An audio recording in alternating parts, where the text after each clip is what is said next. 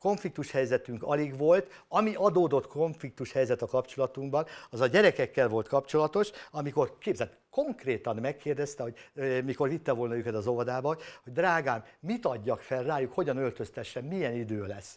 Na most erre nem mondhatod azt, hogy változóan felhős lesz az ég itt ott esővel, záporral, mert a te feleséget kérdezi hogy gyerek aggódó anyukaként. Lutter Imre vagyok, a költészet szerelmese. A versek gyakorta csak úgy jönnek és mennek az ember életében, egymásnak adva a kilincset, épp úgy, ahogy a vendégek. De van olyan vendég, akit nem eresztünk. És van olyan vers, amely nem ereszt bennünket.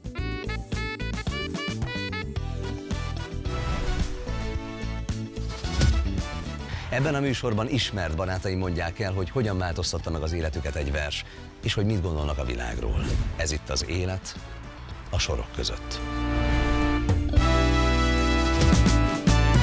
Ma német Lajossal találkozom. Ő az, akit utazásaim előtt mindig felhívok, mert neki jobban hiszek, hogy milyen lesz az idő, mint az internetnek. Volt egy vers, ami azt erősítette, hogy meteorológus legyen. De vajon melyik? És mi volt a sorok között?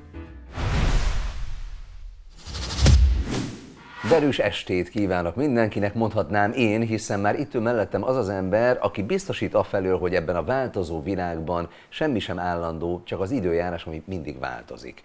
Ezt pedig mondhatná akár német Lajos is, aki tényleg mindig el tudja mondani, hogy mi változik napról napra, hiszen ő az az ember, aki nap mint nap beköszön és bekopogtat hozzánk, hogy elmondja, hogy milyen idő vár ránk, aztán lehet őt szidni, hogyha nem jó. Szidnak érte? Érdekes módon nem. Mostanában különösen nem, mert az elmúlt 10-15 évben olyan technikai fejlődésen ment keresztül ez a szakma, értem ez alatt, hogy időjárási radarok, műholdak és elsősorban a számítástechnika fejlődése segítik a meteorológus munkáját, hogy egy picikét a jövőbe belelásson. Ugye már gyerekkorod óta tudtad nagyjából, hogy mi akarsz lenni, de az nem a meteorológus szakma volt. Nekem a nagyapám mindig azt mondta, hogy menjek el a postára, hogyha nem, nem jó az ember postásnak, akkor még mindig ott van a vasút, mert az emberek mindig küldözgetnek levelet, vagy utaznak, ugye vonata utazni mindig kell, és hogy ezek olyan előkelő szakmák. És azért nálatok is előjött a családban az, hogy mik az előkelő szakmák, ilyenek, mint például a, az esperes, a doktor úr és a tanár úr. Ezek közül tudtál volna választani például? És ez azért volt, ez a három, amit említettél, és tényleg ez volt a fő sodor, mert az én szüleim, nagyszüleim az 50-es években parasztemberek voltak, és ha valamikor nehéz volt, mindig nehéz munka a paraszti munka, de abban a korszakban, a padlás lesöprések korszakában tényleg nagyon nehéz volt, és akkor azt mondta az én drága jó nagyapám, hogy jaj, édesfiam, szép-szép ez a népi demokrácia, de azért a népi demokráciában már csak három úr maradt, amit felsoroltál, az Esperes úr, a tanár úr és a doktor úr, legyél ezek közül valamelyik, mert akkor megmaradsz úrnak. És akkor én elkezdtem gondolkodni, én hithű katolikus vagyok, tehát Esperes úr lehettem volna, de én már az általános iskolában is azért megnéztem a lányokat, és tudtam, hogy, hogy ezt büntetlenül és büntelenül nem lehet katolikus papként megcsinálni, úgyhogy ez elvetve.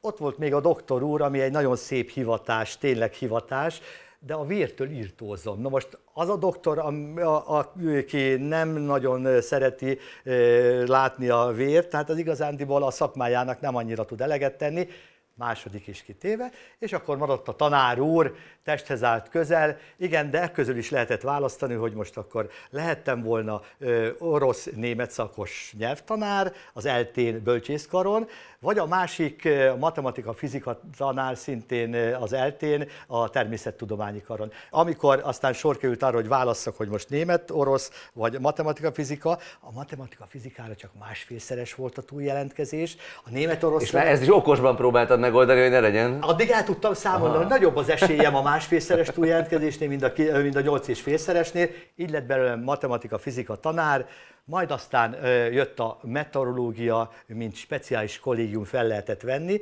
18 évesen Vámos Mikolán születtem, ez a szlovák határnál van, Börzsöny tájékán, Nagy Börzsöny térsége, Ipoly völgye az mhm. rész, és levittek teljesen tudatos módon hódmezővásárhelyre, hogy védjem a hazát, és hát ez a 11 hónap most már megszépíti természetesen az idő ezt a dolgot.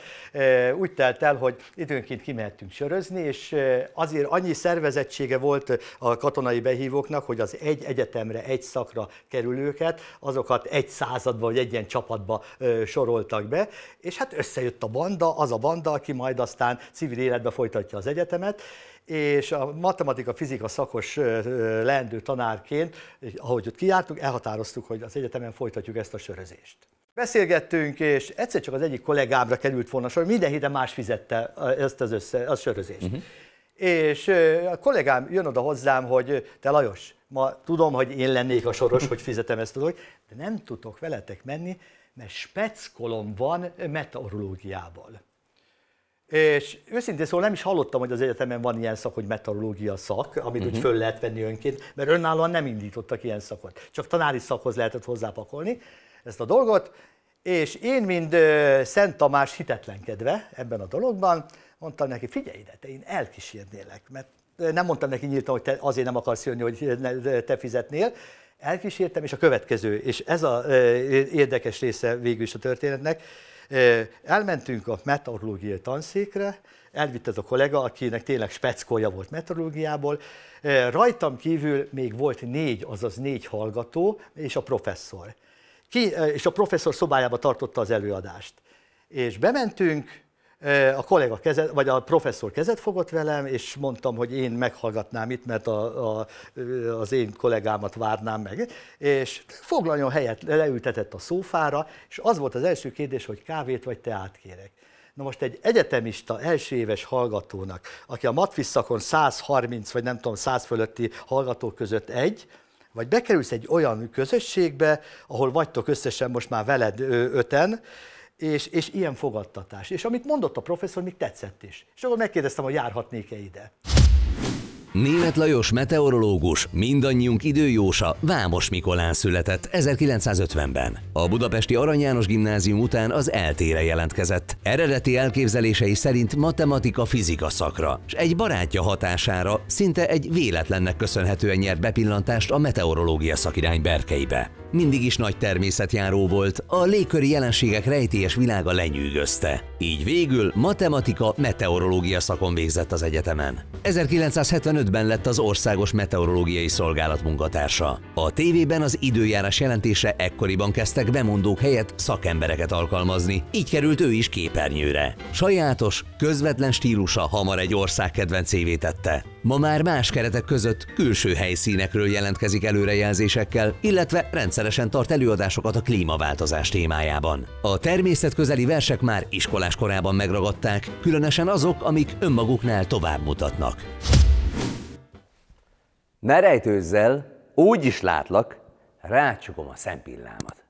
Mindjárt folytatjuk, de ne felejts el a végén feliratkozni és megnyomni a kis csengőt a meteorológiába pont abban a helyzetbe kerültem az előrejelző részlegre, amikor a, a Magyar Rádiónak és a Magyar Televíziónak szüksége volt olyan meteorológusokra, akik elmondják, megpróbálják helyesen, artikulálva, szépen elmondani. Közérthetően mm. osszuk meg a titkokat, úgymond a mhm. légkör titkait, de nem olyan volt, hogy egyik percről a másikra mikrofonhoz engedtek, meg képernyőre engedtek, hanem mikrofon engedélyt kellett szerezni. És a Magyar Rádiónak volt beszédtanára, Fischer Sándor tanár.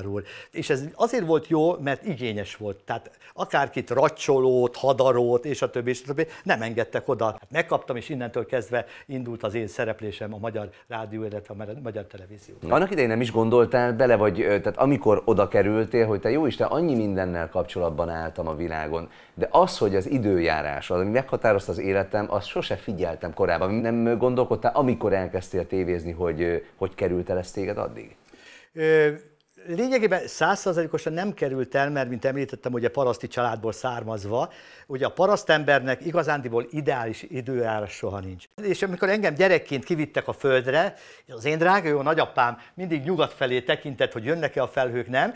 Én természetesen nem tudatosult bennem, hogy ez mennyire fontos, hogy most a lucerna, ami le van kaszálva, megázik, nem ázik meg, de azért hallottam ilyen szakszavakat, hogy rohasztó felől már megjön az égi háború. Hmm. De, de igazán én soha nem gondoltam, hogy meteorológus leszek, tehát nem foglalkoztam az, úgymond az égi jelenségekkel.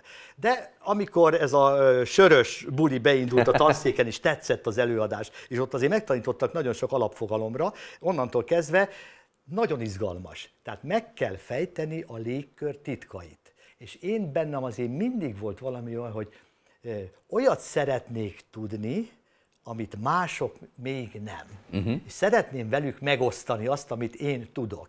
És milyen jó lenne megmondani az én nagyapámnak, hogy most inkább kukoricát ültessen, mint ősszel vessen buzát, mert hogy csapadékos lesz a nyár, és a kukoricatermés jobb lesz.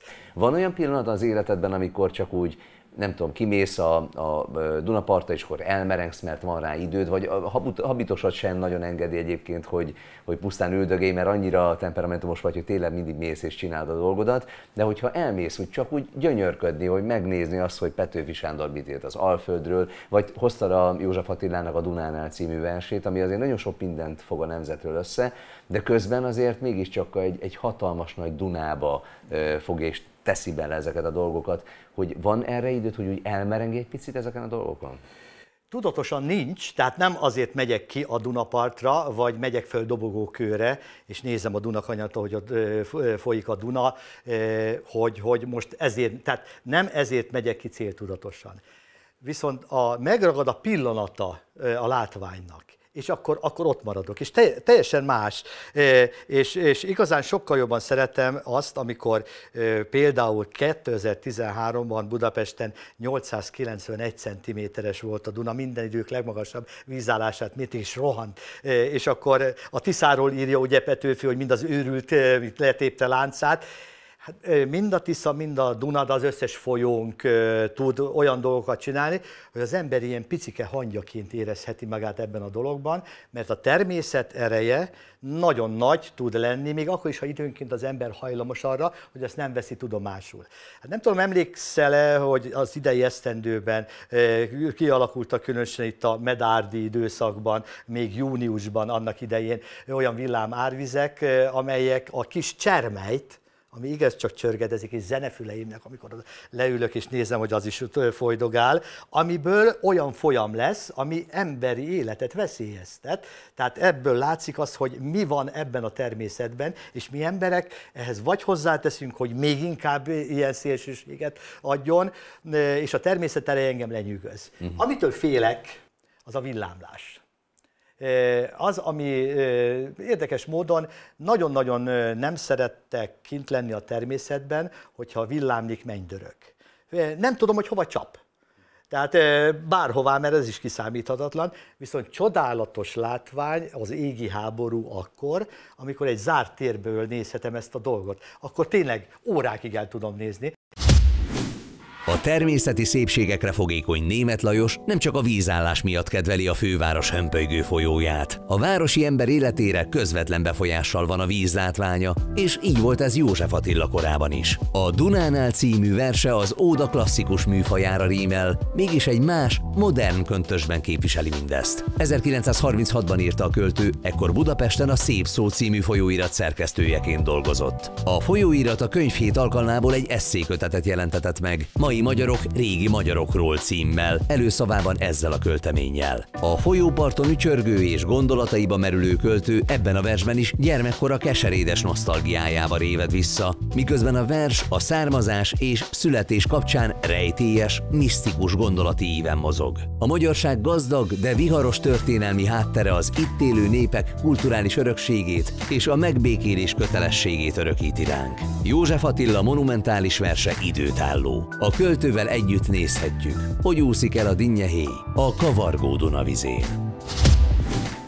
Én elképzelem, hogy József Attila oda leült, és nézte. Nézte, és ugye benne van a versében, hogy záportól, meg megzabolázható, meg, meg tehát sok, és esik az eső, tehát egy csomó olyan meteorológiai jelenséget is leír uh-huh. a más mondani valója mellett természetesen, de a meteorológiai rész is ebben benne van.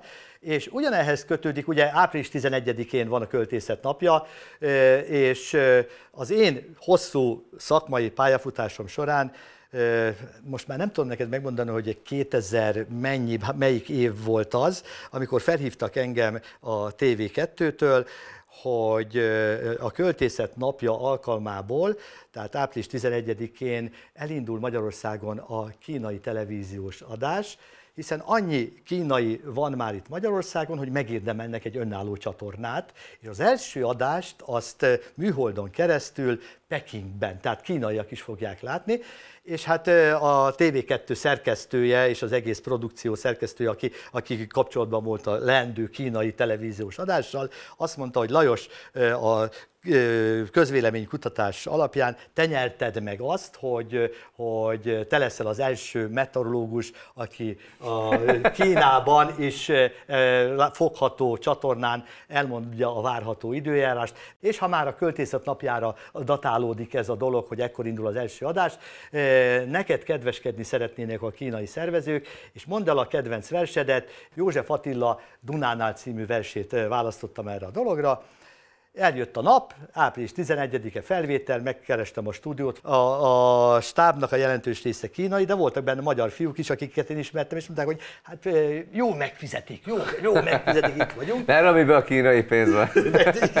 megfizetik. És, és hát akkor meséltettek az időjárásról, magyarországi időjárási viszonyokról. A produkció félpontja, fénypontjaként pedig mondták, hogy a te tiszteletedre, Lajos, az egyik kínai barátunk, költő barátunk, lefordította József Attila Dunánál című versét, és ezt most élőben megoszthatod, elmondhatod. Kínai nyelven? Kínai nyelven elmondhatod a kedves nézőknek és én ezt halál komolyan, nagyon nehéz volt, azt hozzá kell tennem. De fonetikusan volt gondolom, nem, nem a kínai jelleget kell. Nem, nem, nem, fonetikusan volt leírva, annyi segítséget kapsz, ezt mondták, hogy fonetikusan. És én az első rész, első négy-öt sort, de az, hogy úszik a dinnyehéj, az benne volt, mm-hmm. azt tudta, hogy kínaiul, nem de tudnám neked tudtad? idézni. Honnan tudtad, hogy Mondták. Mondta, mondták. mondták és te ez... elfogadtad, mert elhittem, mint a gyerekek a meteorológiai jelentést. Te tudod, hogy aki kínai, hogy van ide, ide. És, és én nagyon megszenvedtem ezzel a dolggal, jobban, mint hogy milyen idő várható holnap után Pekingben, mert ezt is még megkérdezték tőlem és én nagyon-nagyon boldog voltam, hogy ez sikerült, és akkor innentől kezdve e, aztán a sztorinak az a vége, hogy Svábi Andris kollégám, barátom meghívott e, az egyik étterembe, hogy találkoztunk 18 órakor a, a, az étteremben, amikor hirtelen feltűntek azok az arcok, kínai arcok, akikkel én már stúdióban találkoztam, nagy átverés volt az egész, ez a lényeg a dolognak. Egy életre megjegyeztem, és imáimban fogadtam Andrist, hogy te ez egy nagyon-nagyon jó geg volt, csak így tovább, de másokat is Andris, és hát sok embert sikerült így, de nem a József Attila Dunánál című versen, mert ezt én csak egyedül mondtam el kínaiul, próbáltam elmondani. A rakodópart alsó kövén ültem, Néztem, hogy úszik el a dinnyehéj. Alig hallottam, sorsomba merülten, hogy fecseg a felszín, hallgat a mély. Mint a szívemből folyt volna tova. Zavaros, bölcs is, nagy volt a Duna. Mint az izmoka dolgozik az ember, reszel, kalapál, vályogot vet, ás, úgy pattant, úgy feszült, úgy ernyedett minden hullám és minden mozdulás. És mint édesanyám ringatott, mesélt, s mosta a város minden szennyesét. És elkezdett az eső cseperészni, de mintha mindegy volna, el is állt. És mégis, mint aki barlangból nézi a hosszú esőt, néztem a határt. Egykedvű, örökeső módra hult, szintelenül, itt tarka volt a múlt. A Duna csak folyt. És mint a termékeny másra gondoló anyának kölén a kisgyermek, úgy játszadoztak szépen is, nevetgéltek a habok felé. Az idő árján úgy remektek ők, mint sírköves dülöngő temetők. Én úgy vagyok, hogy már százezer éve nézem, amit meglátok hirtelen. Egy pillanat, s kész az idő egészen, mit százezer ős szemlélget velem. Látom, mit ők nem láttak, mert kapáltak, öltek, öleltek, tették, ami kell. És ők látják azt, az anyagba leszálltak, mit én nem látok, ha vallani kell. Tudunk egymásról, mint öröm és bánat. Enyém a múlt, és övék a jelen. Verset írunk ők fogják ceruzámat, és én érzem őket, és emlékezem. Ezek fontos gondolatok. Talán ezért érdemes élni. Tudjátok, a dolgok változnak, a vers örök. De csak ha újra tudunk találkozni. Az örök pillanatokért iratkozzatok fel a csatornámra, és nyomjátok meg a kis csengőt a te életed azért sodródik folyamatosan, de láthatóan mindig az emberek szem előtt. Emlékszem, hogy gyakran előfordult veled korábban is, hogy megkérdezték tőled az úton, útfélen, hogy milyen lesz az idő. Ma már ugye elő tudja kapni az ember a telefonját, de azért előfordul még veled? Tehát mész az utcán, megállítanak emberek, hogy ne haragudjon már Lajos, mondja már meg, hogy meddig tart még ez a borzasztó csapadékos nyár. De ez egy nagyon érdekes dolog, mert való igaz, mindenkinek ott van az információ a birtokában, és ennek ellenére a meteorológus személyes kontaktusa a kérdezővel vagy az emberrel, ez továbbra is megmaradt. A mai napig tapasztalom azt, hogy az emberek, most azért ugye, mivel én az operatív mindennapok időjárásjelentését körülbelül három vagy négy évvel önként és dalolva ott hagytam, tehát az, hogy esténként megjelenjek, az nincsen, mert szerettem volna az unokáimmal többet lenni, uh-huh. viszont az időjárást magát nem lehet elhagyni, ott hagyni, 0-24-ben követem a frontokat, tehát én képben vagyok, tehát ha valaki megkérdezi a villamoson, hogy milyen idő, oda jönnek tényleg, hogy milyen időjárás várható német úr, akkor én nagyon szívesen válaszolok, és nem menekülök. És valószínűleg ebben az van, hogy az emberek a jó szóért, a közvetlenségért, azért, hogy, hogy szóba elegyedjenek, és nem tolakodóan teszik mindezt, hanem jó szándékból, hogy, hogy egy-két szót váltsunk, egy-két mondatot váltsunk ebben a dologban, ne kérdezik. És ez alatt a, én 45 évet húztam le most már ebben a szakmában, egyetlen egy alkalommal nem ért inzultus. Ha rossz is volt a prognózis, akkor is inkább az együttérzést vélem felfedezni, Egyedül egy alkalommal volt olyan, ez már tévés kettős korszakon volt, tehát a modern korban, mm. itt a, a 20. század végén, vagy a 21. század elején, tehát itt a 2000-es évek tájékán, amikor úgy nézett ki az előrejelzés hétfőn kedden, hogy, hogy a hétvégére strandidő várható. De ahogy közeledtünk a hétvége felé, ugye minden egyes alkalommal 12-24 óránként módosulhatnak ezek az előrejelzések, ahogy az információk frissülnek. És látszott már, hogy jó-jó, nem lesz hideg, nem kell téli kabátot venni, meg nem fog havazni, de ez a strandidő, ez, ez, ez tényleg egy enyhe túlzás ez a dolog. De akkor én már kiadtam a korrekciót, tehát akkor mondtam, hogy mégsem lesz annyira ta ta ta ta ta, ta, ta és ez ment egészen ö, szombatig, még nem elérkezett ez a bizonyos hétvége, hogy akkor szombat van. És olyan hajnali 6 órakor csörög a telefon. Ki az Isten lehet? Fölveszem a telefont, haló tessék német Lajos maga mondta azt, aki a hétvégére jó időt jósolt és strandidő lesz. Jó, jó reggelt kívánok, tessék, német Lajos vagyok. Bemutatkozott az úr. én egy három gyerekes apuka vagyok, és a gyerekeim már itt ugrálnak az ágyon, és mondják, hogy apu, mikor megyünk ki a strandra?